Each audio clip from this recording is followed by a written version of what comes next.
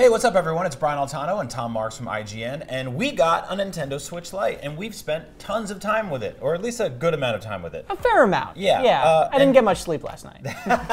Uh, I, I think our first impressions are, are this is a really cool, really awesome, really wonderful new addition in Nintendo's long legacy of fun, strange, quirky handhelds that they've been putting out for years. So I- let's start with what do you love about this thing? Uh, I really love the form factor. I really love the size. I really love the weight of it. It is super lightweight. Like it, it feels, it is heavier than most phones, but it feels kind of on par in its construction and, and the, the feel of it in your hand. It's got a really nice matte finish. Like I really, I really dig that. Some people in the office were saying they kind of weren't as into the matte finishes as maybe some, but I, One, one I of the like things that. I was saying about that is that if you have a Nintendo Switch at home, flip it over and touch the kickstand on the back. Yeah. It feels like the Switch Lite is made entirely out of regular Switch kickstand, Yeah. which is a weird chemical, but Pretty much. is. This is like a sampler for you. Yeah. You just rub that and you know Yeah. what it is. Uh, I, I really like that part of it. Uh, also, this size-wise, I was worried it was going to be too small. Like the screen was going to Mm-hmm. be too small.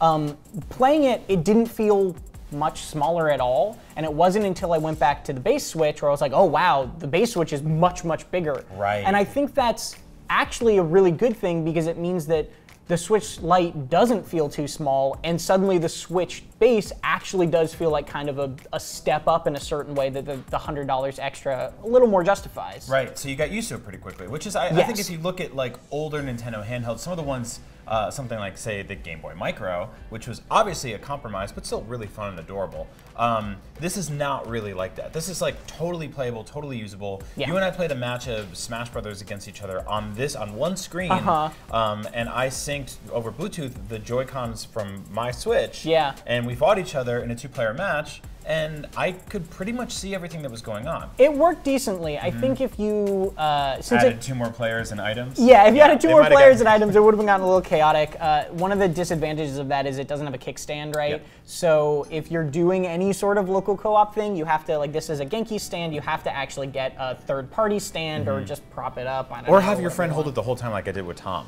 Right. That was that was one you know Yeah. one way of doing it. I mean, maybe you liked that. That was a little less good for me. I will say uh, a, another cool thing I really like about the Switch Lite is the buttons uh, outside of the D-pad, obviously, which is brand new. Um, which like I, I think is pretty good. I don't I haven't really tested it with like a bunch of like you know very twitchy Metroidvanias. Like I'd love to see how it performs with something like Hollow Knight. And I've been, I tried it with Hollow Knight, I tried it with Celeste, I tried it with uh, a lot of different platformers, I tried it with Mario Odyssey for certain things.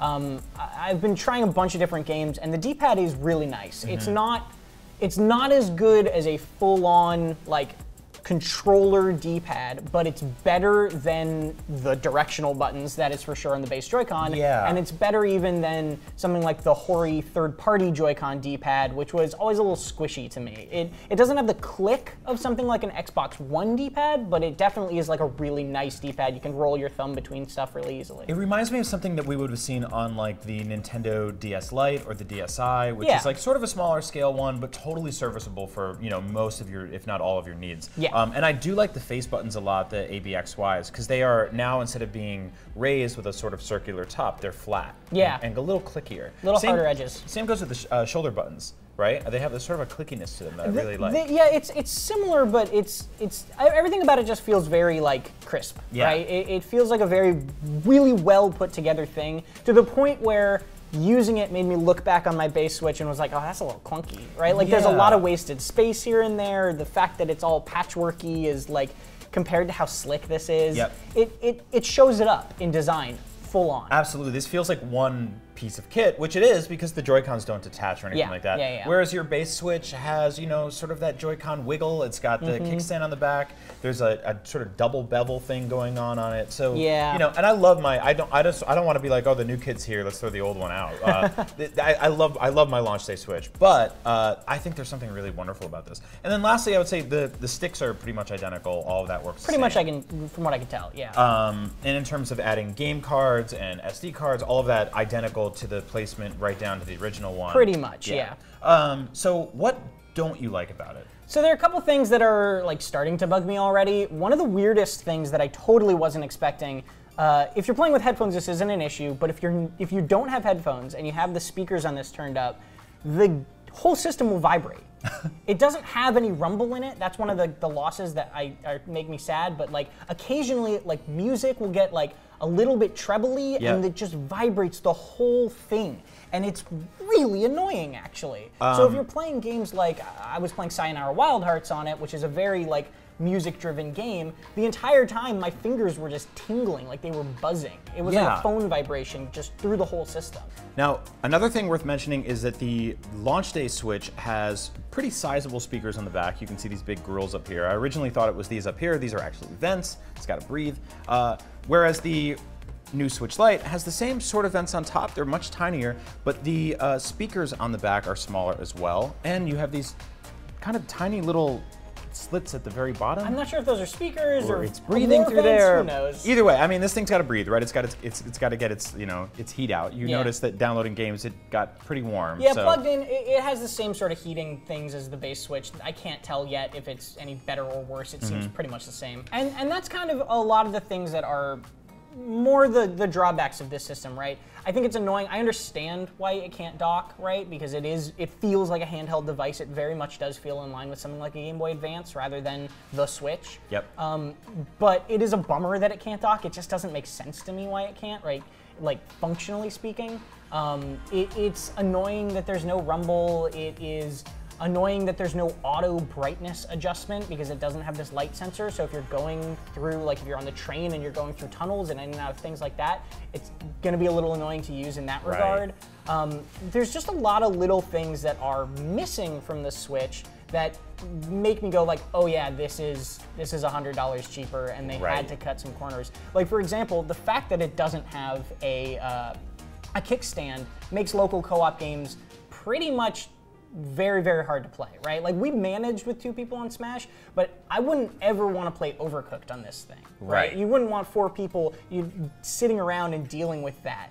Um, similarly it has motion controls and the motion controls in something like zelda for aiming the bow works fine because that's still subtle little movements but anything like running fast in Mario Odyssey, where you have to shake the whole system, or the weird hammer physics puzzles that are motion controlled in Zelda's shrines, are just terrible with this thing because you can't like you're to do the hammer thing you have to you can't see the screen you're moving the whole right. device A- and that was always that was always a problem when you're playing in handheld mode on the Mm-hmm. switch but you can you know prop it up and take off your joy-con and do it that way and you don't have that flexibility here and it's noticeable it just makes some games worse Yeah, and that's just for individual moments in incredibly popular games like Mario Odyssey and Breath of the Wild, but there's also entire games like Mario Party where you just straight up can't play them on the Switch. Yeah. Because you'll need detached Joy-Cons to actually register movements, and that's fundamentally impossible here.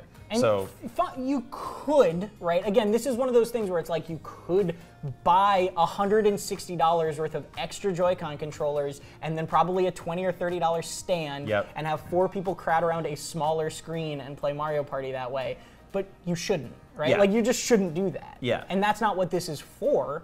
But it, it, it's something that people need to know that just because it can play those games doesn't mean it's the right device to do so. So speaking of which, finally uh, to wrap things up, obviously you have a, a, a you know uh, now two pretty awesome options in terms of like entry point Nintendo Switch systems. Yeah. Um, I would say that the this one is sort sort of more catered towards like a younger audience, commuters, um, whereas the other one, you know, uh, in lieu of getting a, a fully fledged Pro model, which has not happened yet, uh, is something for somebody who wants a little more versatility and sort of like I, I- I would say uh, options, right? Yeah. So what would what what would you say to somebody who wanted to buy a Switch this Friday, the 20th, when this is available? Which is the one that they should go for? Uh, it's a really personal question, to be honest. I think the, the my biggest takeaway right now, uh, and I still have to use a lot of it. Right, this is a review in progress. We're gonna have a final review next week. Um, but my biggest takeaway right now is that these are both great devices. Right, they have an amazing library of games. I love the portability of them. The the graphics obviously are weaker than a lot of other systems, but for what you're getting in the package, it's really impressive. Right. Either way, you're gonna be fine. Yeah, I mean this thing's gonna play The Witcher this year. Like that's insane. it's ridiculous. Yeah. But it's sort of a personal question of do you value cheaper with a really like a better form factor in a that's mobile only or are you willing to pay a little more to get a bigger screen and a lot more features, right? Right. A lot more flexibility, a lot more versatility. And that's the question that honestly like we can't answer for people. It's it's just a matter of am I willing to spring $100 to get a slightly clunkier thing that can do a lot more, Mm-hmm. or is $200 the cheaper price point better for this strictly handheld system? Yeah.